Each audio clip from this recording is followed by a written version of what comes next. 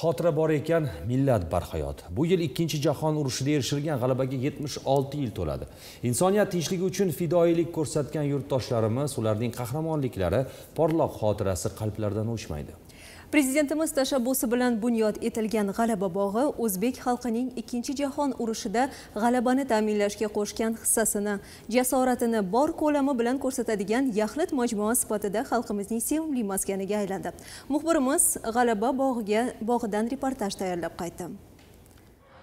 Urushda nafaqat o'zbek o'g'illari balki ayollarimiz ham jasorat ko'rsatganlar. Buning yorqin misolini zulfiya aya va uning kelinlari timsolida ham ko'rishimiz mumkin.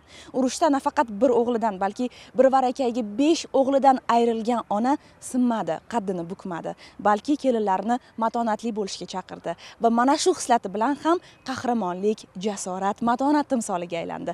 Mana bu siymo esa zulfiyaga qo'yilgan barhayot timsoldir.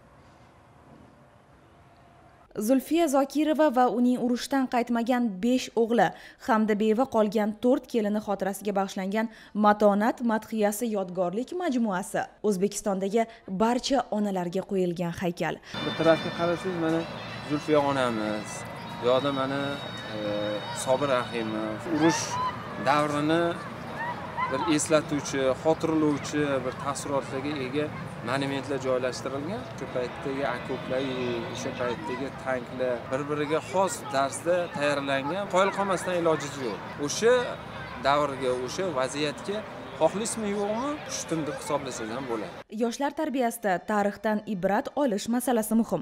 Shu o'rinda mazkur muzey yigit qizlar uchun tarbiya maskaniga aylanib ulgurganini aytib o'tish joiz. Hatto maktab o'quvchilari jajji bolajonlar ikkinchi jahon urushi tarixini katta qiziqish bilan o'rganishmoqda. Hozir man eshitdim ma'lumotlar berib o'tdi. Agar urushda uchburchak xat berilgan bo'lsa yomon xat bo'lar ekan. Onalarimiz rosa yig'lagan ekan. Farzandlarini urushga kuzatgan ekan. Bir so'z bilan aytganda g'alaba bog'i xalqimizning urush yillarida ko'rsatgan jasorati va yuksak insoniy fazilatlarni xotiramizda saqlashga hamda kelgusi avlodlarni shijoatli va vatanparvar insonlar qilib tarbiyalashga xizmat qilmoqda.